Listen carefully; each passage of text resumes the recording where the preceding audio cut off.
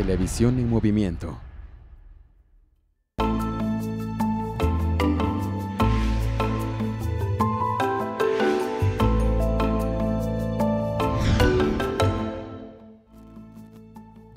¿Qué tal amigos? Muy buen día.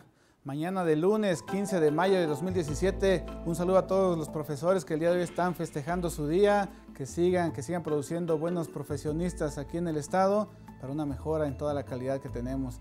Pues gracias a, los que nos siguen a través de redes sociales. En el Facebook estamos como MBM Televisión Oaxaca. En el Twitter estamos en arroba MBM Televisión. Y a través del streaming en www.mbmtelevisión.com. En el canal 071 de Easy, completamente en vivo para MBM Televisión. Recuerden el teléfono en el estudio 205-6300 para cualquier duda o comentario que tengan referente, referente al tema del día de hoy. 951-117-3981, mi celular para que envíen llamadas de texto o WhatsApp. Amigos, el programa del día de hoy va a estar muy bueno. Pasemos a la consulta del día.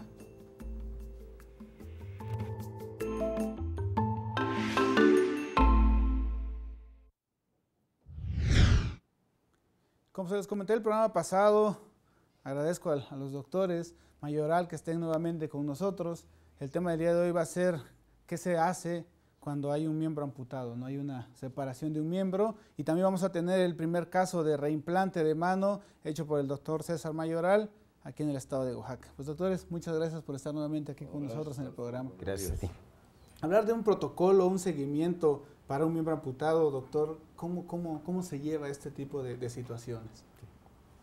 Sí, es muy importante la primera etapa en la que sucede el accidente o el momento de la amputación de una parte del cuerpo, porque el tratamiento que se le dé a la parte amputada, llamémosle miembro amputado, es este, lo que también puede definir el buen pronóstico, el, el buen fin que termine el reimplante de un miembro amputado.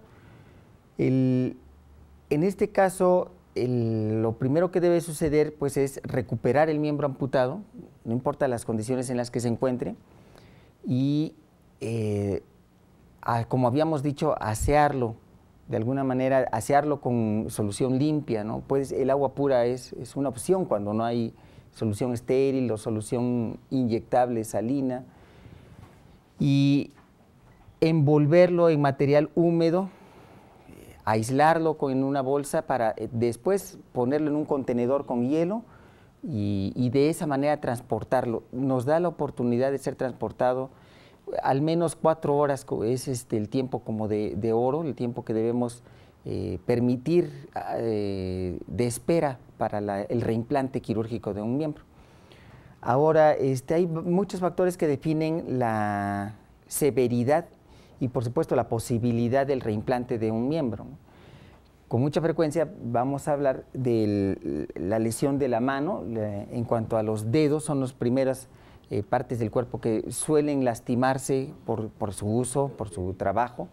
Los dedos este, tercero y cuarto son los primeros que se exponen por su longitud y no es raro que veamos casos tan sencillos, tan aparentemente tan simples como las puntas digitales amputadas. ¿no?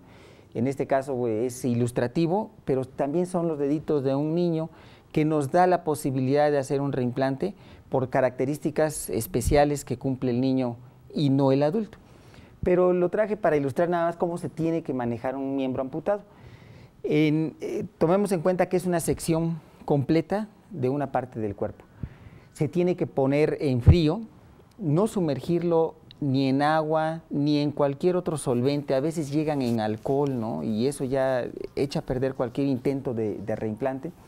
Como dije, se tiene que envolver en gasa húmeda, la gasa metida en una bolsa y la bolsa ya puede estar en contacto directo con el hielo, no la parte amputada con el hielo, porque las quemaduras por frío también definen el pronóstico del re, reimplante del, miembro. Y no tenemos idealmente cuatro horas de traslado para iniciar el, reimplante del miembro amputado. Yo lo ilustro de una manera muy, muy simple, no necesitamos este, mayor este, infraestructura ni tecnología para enviar un miembro amputado eh, cualquier traste, cualquier bolsa y hielo que, que, esté a la mano disponible cumple con lo necesario para el manejo de un miembro amputado. Así que, bueno, las lesiones pueden ser también las que determinen la condición en la que se encuentra el miembro amputado. ¿no?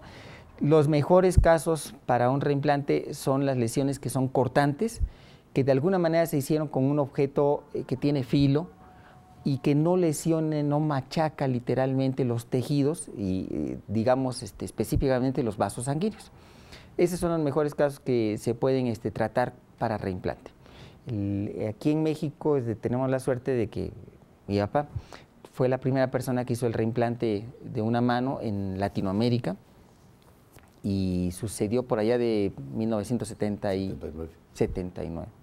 En este caso, doctor, usted comenta del tipo de lesión que puede haber y hablar del, órgano amputado, ¿no? Sí. ¿Qué, es, ¿Qué cuidados debe tener la parte del cuerpo, en este caso lo que todavía sangra, lo que es nuestro, que para también como cuidado y tener esa, esa relación entre el miembro amputado y lo que es el muñón de la mano, podemos decir. Sí, de acuerdo. La mayor preocupación del muñón de amputación es este, el sangrado, por supuesto, ¿no? Eh, secundariamente, el manejo que se le dé es para evitar la contaminación excesiva o para descontaminarlo en la medida de lo posible. El muñón de amputación suele ser el que presenta sangrado a veces intenso, las manos son eh, porciones del cuerpo muy vascularizadas y pueden presentar, un simple dedo puede sangrar excesivamente. la compresión con compresas, con trapos de algodón, con tela y un vendaje compresivo es suficiente. Los torniquetes no son aconsejables. Cualquier muñón tiene que ceder su sangrado si, como decimos este, en la jerga médica, empaquetamos el muñón con trapo de algodón y le ponemos un vendaje compresivo. Hay que evitar en la medida de lo posible los torniquetes. en este caso el tiempo de coagulación debe ser el, normal del organismo para que ese, ese, miembro coagule bien y llegue con ustedes, ¿no, doctor? Sí, de alguna manera la coagulación tiene que ver, pero más que nada en la cuestión mecánica de, de, hacer ceder el sangrado, no tanto la coagulación, porque son vasos que no van a coagular, no van a cerrar por el mecanismo de coagulación, lo van a hacer de manera mecánica y la compresión es el mejor método. En este caso, doctor, a que, desgraciadamente nadie debe querer quisiera ¿no? una situación de amputación, pero ¿en qué edades es más fácil o, genera menor problema el que el, órgano sea receptivo al mismo cuerpo, reimplantarlo? Eh, bueno, no, es este, un poquito eh, relativa la respuesta, porque en los niños el proceso de regeneración es una ventaja enorme, ¿no? Como en el caso que traje a colación eh, de puntas digitales, es posible el, reimplante sin haber revascularización quirúrgica, o sea, sin suturar vasos sanguíneos, porque los niños tienen cierta capacidad todavía de regeneración tisular y eso permite antes de los cuatro años hacer eh, reimplantes como si fueran lo que llamamos injertos y no vascularizados quirúrgicamente.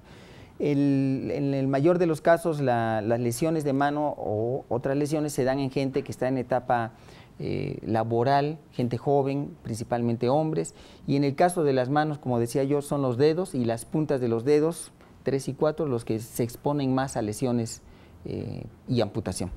Ok, desgraciadamente la, muchas de, las profesiones que se tiene, de los oficios que se tiene, el carpintero, el carnicero, a veces el electricista, desgraciadamente conlleva a tener ese tipo de, accidentes y desgraciadamente a veces no se sabe la manipulación de las, de las cosas y llegan a, perder el miembro, ¿no? Simplemente por mal manejo de, en el tiempo que se lleva al hospital, ¿no, doctor? Sí, desgraciadamente es frecuente.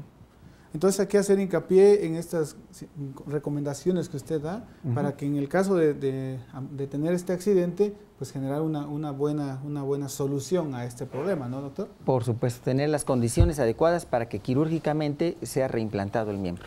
Ok, doctor, vamos a, ir a, un corte, vamos a regresar para seguir hablando de ese tema tan importante y hablar, doctor, del primer implante de mano que usted realizó. Pues amigos, vamos a un corte y en un momento regresamos.